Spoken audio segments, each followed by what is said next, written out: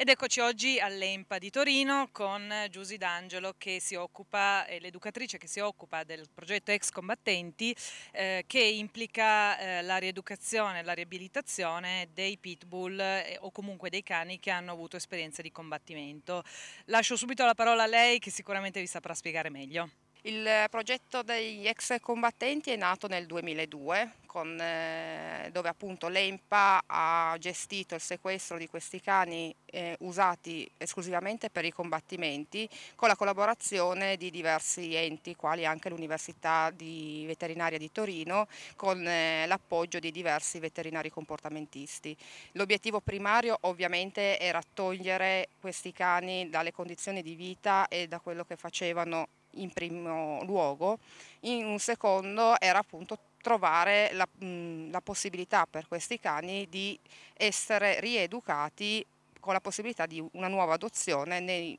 limiti eh, del loro benessere in base alla loro personalità. Quindi quello che è stato fatto in una fase iniziale è stata anche eh, affrontata una ricerca scientifica per dimostrare che eh, i pitbull comunque hanno dei comportamenti altamente sociali, che quello per cui combattevano era realmente un apprendimento, non perché sono dei cani cattivi. Questa è una cosa che ci tengo a dire. Eh, I pitbull sono cani normali, in, come qualunque altro cane. Hanno un grado di per pericolosità come può averlo un pastore tedesco, come un Rottweiler, ma come se, mh, mm, qualunque cane di grossa taglia. Quindi quello che abbiamo fatto sono stati dei test comportamentali per individuare qual era il potenziale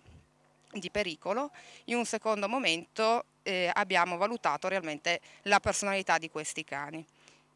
Mm, in linea di massima il, questi nostri ragazzi che ormai sono qua con noi, dalle, alcuni di loro da lontano 2002, eh, alcuni di loro hanno avuto la fortuna di essere adottati, quindi vivono tranquillamente, serenamente in, eh, in, appartamenti con famiglie che hanno anche dei bambini, quindi di questo noi siamo molto molto orgogliosi.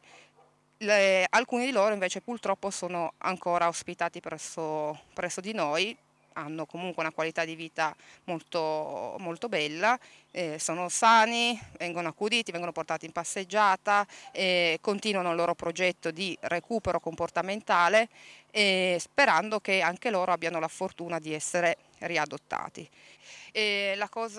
un'altra cosa molto bella che stiamo riuscendo a fare nei, in questi due o tre anni è sviluppare la personalità di ogni singolo individuo, quindi ogni singolo cane che è ospitato all'interno del canile. Per noi non è importante insegnare ai cani a stare seduti o a terra o camminarci al piede, per noi è importante che il cane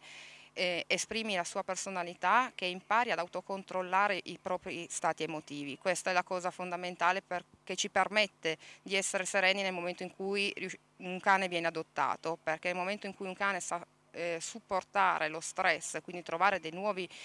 mh, comportamenti, eh, ovviamente limiterà un rischio di aggressione, un rischio di pericolosità sia nei confronti dell'ambiente esterno, quali possono essere altri animali eh, o comunque proprio nel contesto sociale, quindi in un parco dove ci sono dei bambini che giocano o la bicicletta che corre. Quello che noi abbiamo fatto è stato veramente semplicemente capire chi era Oney, capire chi era Blanche, Litz, Gino, tutti i nostri ospiti, mh, al punto di riuscire a insegnargli a poter stare nell'ambiente esterno, in un ambiente sociale che a oggi è difficile non solo per i nostri PITEX combattenti, ma per qualunque cane è difficile vivere nella nostra realtà. E, ogni cane che viene adottato, io spero che anche questi